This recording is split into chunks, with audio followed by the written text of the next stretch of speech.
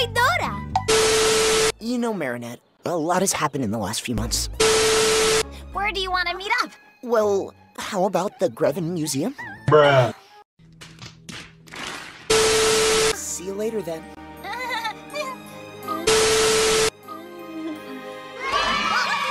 Marinette and Adrien are going on a date! Oh, guys together? Bombastic side eye. Yes, that's right. We're more together than ever. Uh, I'm happy for you two.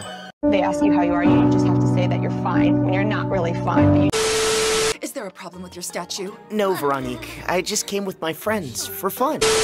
Remember when you mistook me for a statue, Marinette? It smells exactly like him. We should actually go check out another statue. What do you say? You kissed me. You kissed me. Well, I think you may have more in common with Adrien than you think. Trust in yourself for once. Feeling jealous? I don't know. All I know is that I'd like to be in Luka's place. Everything